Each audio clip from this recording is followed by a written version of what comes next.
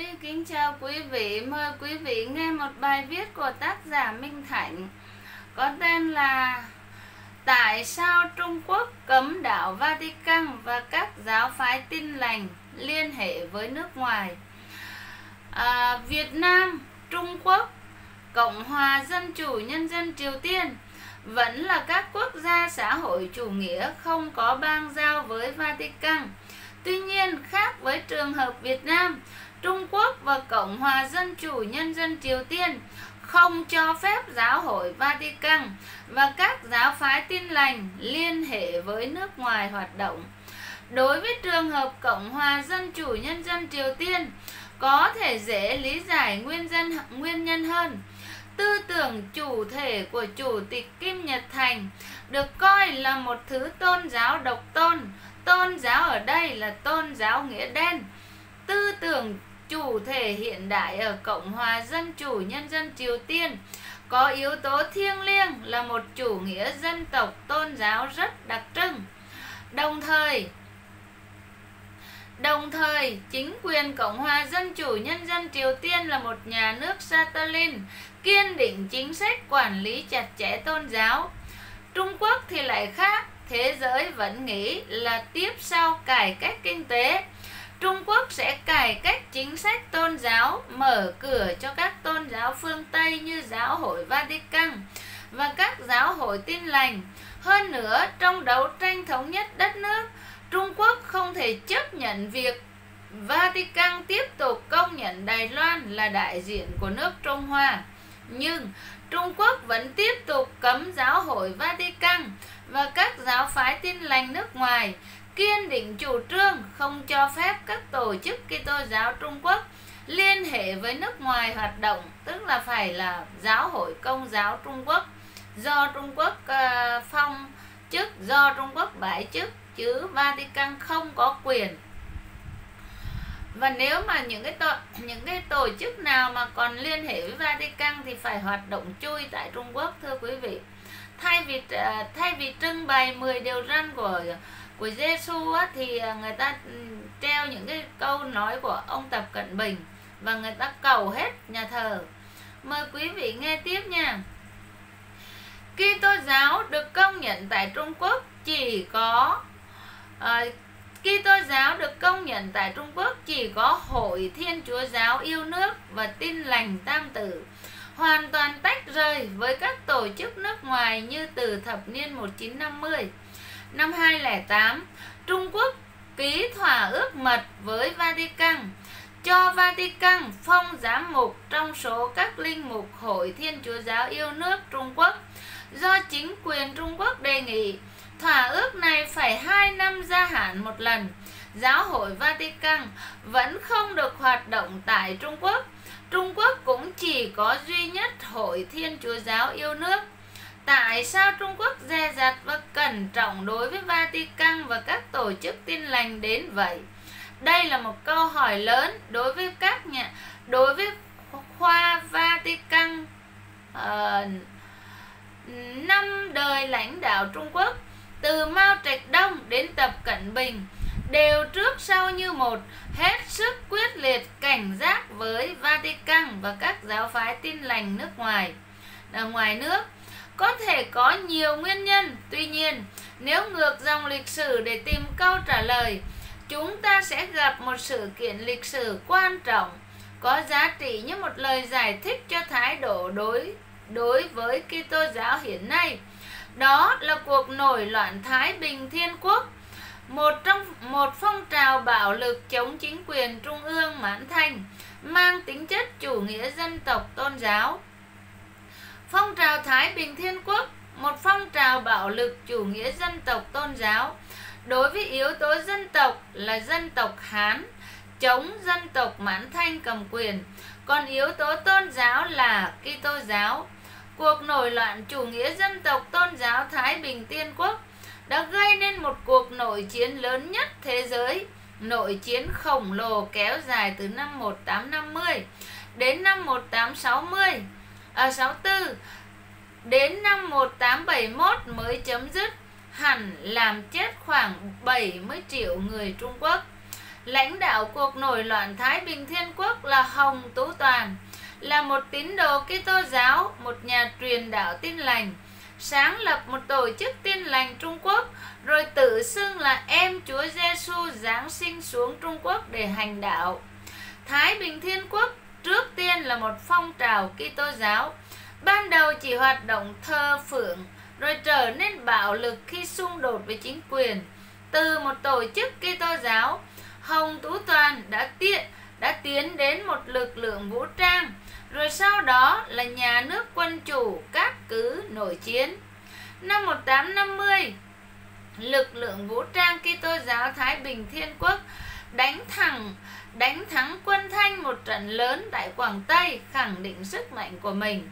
Đến năm 1851, à, Hồng Tú Toàn lên ngôi vua của Thái Bình Thiên Quốc, một quốc hiệu mang màu sắc Kitô giáo. Năm 1853, quân Thái Bình Thiên Quốc chiếm thành phố Nam Kinh, đổi tên thành là Thiên Kinh. Trên cơ sở quan điểm Kitô giáo biến thái trong sự kết nối với chủ nghĩa dân tộc Hán, chính quyền Thái Bình Thiên Quốc coi người Mãn là ma quỷ, là sa tăng, nên tàn sát người Mãn với hình thức đặc trưng của Kitô giáo Trung Cổ là thiêu sống. Kitô giáo trở thành nền tảng tư tưởng của Thái Bình Thiên Quốc, có triều phục, cung điện đâu đâu cũng thể hiện thánh giá. Nội chiến Thái Bình Thiên Quốc ảnh hưởng đến tất cả các tỉnh của Trung Quốc.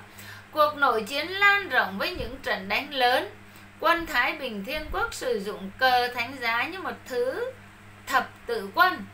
Do tính chất tôn giáo, quân Thái Bình Thiên Quốc coi Phật giáo ở Trung Quốc là thù địch. Quân Thái Bình Thiên Quốc tàn phá cướp bóc các ngôi chùa Phật giáo, giết hại tăng ni Phật giáo. Chính quyền Thái Bình Thiên Quốc tổ chức những cuộc tổng cải đạo quy mô. Lực lượng vũ trang Thái Bình Thiên Quốc có khoảng 2 triệu người, đồng thời là tín đồ Kitô giáo.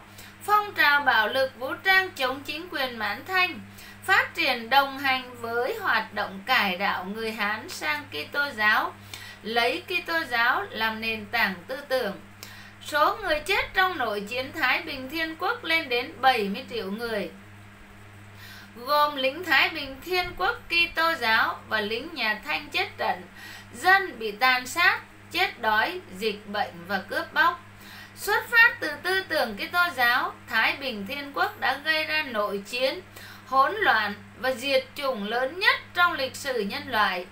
Kỷ lục chết 70 triệu người trong chiến tranh từ chủ nghĩa dân tộc Hán Kitô, à, à, Hán Kitô giáo vượt xa những trận tập thập tự chinh ở châu Âu. Cuộc nổi loạn Thái Bình Thiên Quốc cho thấy đạo Kitô đã là một trường hợp đã là môi trường hết sức thích hợp để mồi lửa chiến tranh đưa nội chiến lan rộng và gắn chiến tranh tôn giáo với chủ nghĩa dân tộc, chủ nghĩa hán tộc chống triều đình mãn thanh. Các cuộc tàn sát do Thái đình Thiên Quốc gây ra nhuốm màu sắc Kitô giáo. Quân Thái Bình Thiên Quốc coi mình có sứ mệnh được Chúa giao phó là diệt trừ ma quỷ mãn thanh. Năm 1864, thủ đô Nam Kinh của chính quyền Thái Bình Thiên Quốc thất thủ, đánh dấu sự cáo chung của chế độ, nhưng tàn quân Thái Bình Thiên Quốc vẫn hoạt động thổ phỉ, một loại thổ phỉ Kitô giáo cướp phá của cướp phá chùa chiền cướp phá chùa chiền Phật giáo và các cơ sở tôn giáo khác gồm cả gồm cả người theo đạo hồi ở Trung Quốc những toán phi Kitô giáo tàn dư Thái Bình Thôi Thiên Quốc hoạt động cho đến năm 1890. Quy mô cuộc nội chiến Thái Bình Thiên Quốc và tính chất Kitô giáo của nó đè nặng lên lịch sử Trung Quốc. Trong cuộc nổi loạn Thái Bình Thiên Quốc, những thủ lãnh Thái Bình Thiên Quốc tiến hành song song ba quá trình là cải đạo người Hán sang đạo Kitô, xây dựng một lực lượng vũ trang mang tính chất Kitô giáo, diệt chủng người Mãn với sự nhìn nhận đó là ma quỷ theo giáo lý Kitô giáo. Với cuộc nổi loạn Thái Bình Thiên Quốc, Kitô giáo được truyền bá ở Trung Quốc thông qua đỉnh cao bạo lực và loạn tàn khốc nhất thế giới. Quá khứ đẫm máu, nội chiến Kitô giáo Thái Bình Thiên Quốc khiến các lãnh đạo Trung Quốc hết sức cảnh giác với các tôn giáo Kitô. kinh nghiệm từ lịch sử Trung Quốc từ thế kỷ 19 cho thấy các tôn giáo Kitô giáo nguy hiểm đến mức nào. Sau đó giải thích nguyên nhân cho chính sách hết sức cảnh giác đối với Kitô giáo trong 80 năm qua ở Trung Quốc. Trung Quốc là xứ sở nội chiến triền miên, nhưng mãi đến thế kỷ 19, nội chiến Trung Quốc trước đây gắn với phe phái chính trị lãnh chúa phong kiến sắc tộc vân vân nay đã chuyển sang diễn tiến với một động với động lực thúc đẩy là tôn giáo du nhập từ phương Tây tạo ra một cơ sở tư tưởng giấy loạn ngoại lai tốc độ phát triển quyền phát triển cực nhanh kiều phát nó và hậu quả hết sức khủng khiếp. À, xin giới thiệu bạn đọc bài bách khoa toàn thư mở tiếng Anh tìm đọc trên um, Google quý vị với nỗi ám ảnh Thái Bình Thiên Quốc từ lịch sử Trung Quốc thế kỷ 19 đẫm máu chắc chắn giới lãnh đạo Trung Quốc vẫn tiếp tục chính sách như hiện tại đối với các các tôn giáo Kitô. Đấy là những gì mà Ly muốn gửi đến quý vị để thấy rằng á cái bản chất của thằng Vatican nó ở đâu nó không xấu như nhau nó ở đâu nó không kích động con chiên bản địa chống lại nhà nước mà sở tại. Đó. Nào là Đông Timor nào là như vụ án có vừa à, à, xin lỗi như cái bài Ly vừa đọc. Rồi à, nào là ở Ba Lan rồi rồi giờ ở Myanmar rồi nó nó rất là muốn làm như vậy ở Việt Nam nữa thưa quý vị và ở Cuba nữa thưa quý vị nhiều nơi lắm. Cho nên Ly mới nói nè những bác con chiên nào mà cho rằng Ly lên đây nói tầm bậy quý vị hãy một lần tìm hiểu cho kỹ cái lịch sử uh, ô nhục của cái cái tà đạo này và coi lại những cái tội ác mà cái tà đạo của quý vị gây ra cho nhân loại nói chung cũng như gây ra cho người Việt Nam nói nói riêng. Nếu không có Vatican thì không có Bảo Đại, không có gia đình Tam Đại Việt gian cuồng tín Ngô Đình Diệm.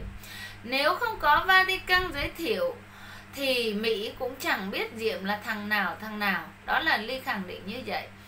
Và vụ án rất nổi tiếng, đó là vụ án là gọi là khởi nghĩa Ba Đình. Tức là ở Thanh Hóa có một cái làng ở có ba cái làng, mỗi cái làng có một cái đình từ làng này nhìn sang làng khác. Thì nghĩa quân của anh hùng đinh công tráng lập một cái căn cứ có tên là căn cứ ba đình và bị Trần Lục dẫn 5.000 giáo gian đi giúp Pháp đánh tan cái thành lũy Ba Đình của anh hùng Đinh Công Tráng. Rồi một cái vụ án nữa là gì? Chúng nó tuyên bố là Chúa đã vào Nam rồi là ở lại miền Bắc là sẽ bị pháo kích rồi bị không sống nổi dưới tay của Cộng sản. Thế bây giờ chúng nó số kiếp di cư đến hai lần hai lần nhưng vạn nỗi gian truân, lần sau còn nhục hơn lần trước, vứt cả ba lô, tụt cả quần. Chúng nó bảo, chúa đi vô nam rồi bây giờ ngoài ngoài miền bắc xây hàng hàng ngàn cái nhà thờ làm gì, đúng không quý vị? Xây nhà thờ để để thờ chúa, mà chúa đi vô nam rồi thì xây làm gì nữa? Và chúa có một mình chúa mà chúa đi đến miền nam thì bây giờ cả thế giới chúa bỏ à? Đúng không thưa quý vị? Nhưng mà đầu óc của nhiều quý vị con chiên rất là chán rất là u muội thật sự là như vậy. À, bài này đến đây là hết rồi thưa quý vị. Ly kính chào quý vị.